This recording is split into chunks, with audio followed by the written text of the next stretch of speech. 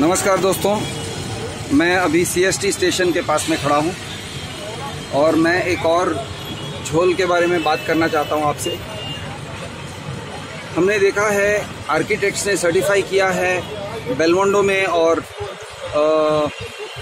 New कफ parade में कि carpet area का ज़बरदस्त शॉर्टेज है।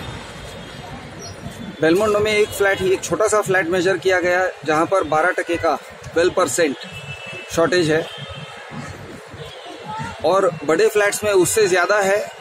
मैंने मेजर नहीं किया है और लेकिन मैं जानता हूँ इसी, इसके बारे में कि बहुत बड़े बड़े शॉर्टेजेस हैं।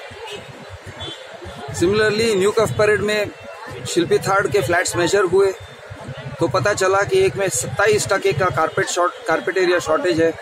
दूसरे में तीस टके का कारपेट शॉर्टेज है। इतने बड़े कारपेट शॉर्टेज के बावजूद, ऐसे फ्लैट्स को लोन फिनेंस कैसे मिलता है? ये सवाल कोई कर नहीं रहा है। तो मैं बताता हूँ। लोन्स पास करने में बैंक्स की भी मिली भगत है लोढ़ा के साथ। और ये कैसे? सी बैंक्स जब लोन्स अप्रूव करते हैं ओके होम लोन्स या फिर प्रोजेक्ट लोन्स भी अगर होते हैं तो प्रोजेक्ट लोन्स जब वो अप्रूव करते हैं तो उनका सिक्योरिटी क्या होता है? उनका सिक्योरिटी होता है लोधा का फ्लैट लोधा के यानी द प्रॉपर्टी जिसकी वैल्यू है। अब वो प्रॉपर्टी की वैल्यू किस पे, किसके ऊपर आधारित है? कारपेट एरिया क्योंकि कंज्यूमर कारपेट एरिया के लिए पैसे दे रहा है। अग्रीमेंट बन रहा है पर स्क्वायर फुट कारपेट एरिया अब अगर कारपेट एरिया कम है तो इसका मतलब कि उसकी वैल्यू 30 परसेंट से डेप्रिशिएट हो जाएगी for the sake of the valuation of the bank तो फिर ये कैसे हो रहा है कि लोधा इतना बड़ा कारपेट एरिया का स्कैम कर रहा है, लेकिन बैंक्स लोन पास करते हैं।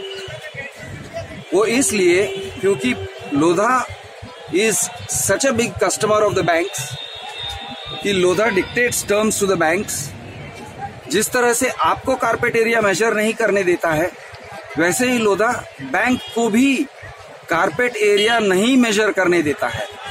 और इंडिपेंडेंटली वेरीफाई नहीं करने देता है कि कौन से स्लैब पर बिल्डिंग का एक्चुअल ये है।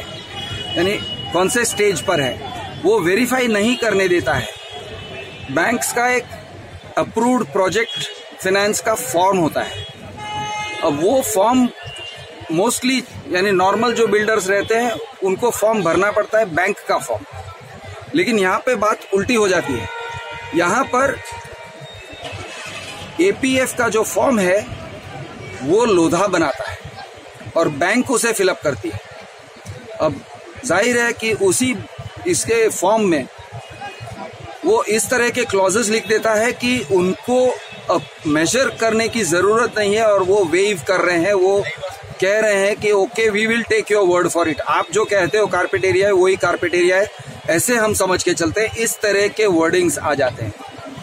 अब इसके कारण banks are not doing their oversight which means वो जब लोन दे रहे हैं तो वो आरबीआई के नॉर्म्स के तहत लोन्स नहीं दे रहे हैं। They are not giving loans according to RBI norms वो मनमानी कर रहे हैं और वो रिस्क भी ले रहे हैं इस तरह से। लेकिन वो रिस्क क्यों लेते हैं? बैंक्स इसलिए इस टाइप के रिस्क लेते हैं क्योंकि लोढ़ा उनको बल्क बिज़नेस देता है और उनके साथ भी दादागिरी करता है।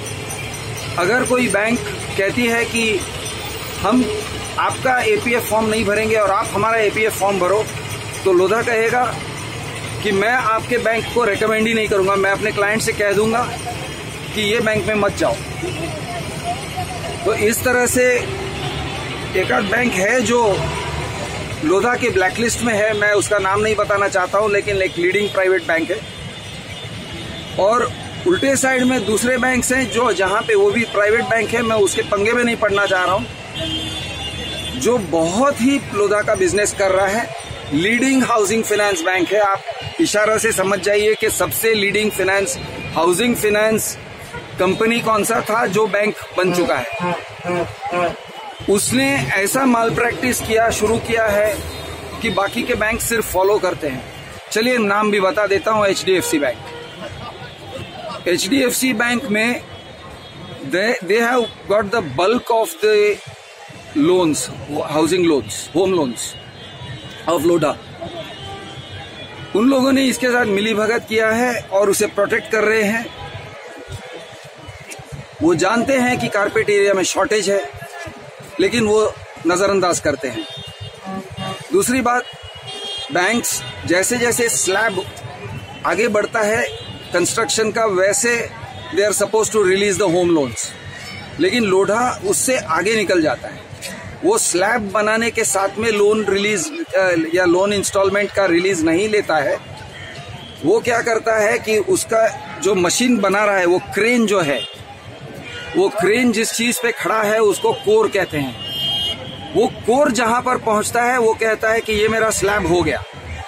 यानी कि आप समझो तीन माले बनाए हैं, लेकिन दसवें माले पर कोर पहुँच गया है।